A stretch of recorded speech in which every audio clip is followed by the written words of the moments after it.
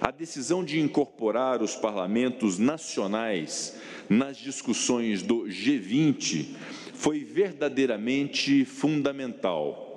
Por meio da atuação dos parlamentos, é possível fomentar a aproximação entre os processos decisórios governamentais e os diversos setores da sociedade.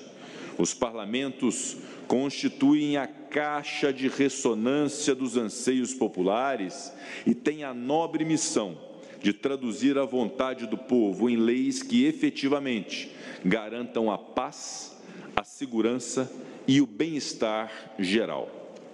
É o parlamento que aproxima o povo das decisões do governo.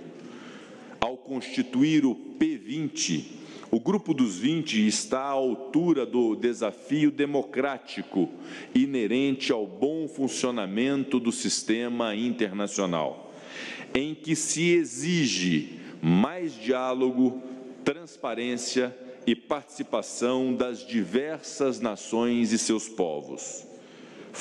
Bastante relevante, sobretudo se considerarmos o delicado momento em que vivemos, um momento no qual a democracia é questionada em várias partes do globo.